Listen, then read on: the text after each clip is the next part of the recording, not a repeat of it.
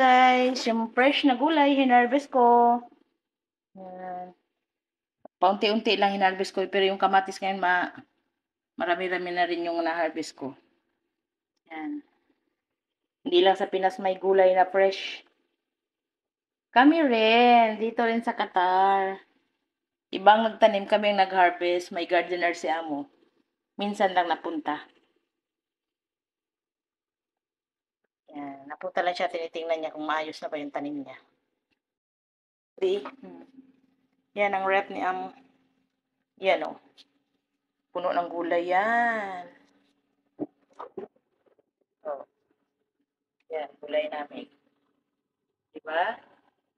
Yan ang yung ano, carrots. Ang wala lang sa amin, okra. Ito yung hinarvest ko kagabi. Yan. Mga dahon-dahon.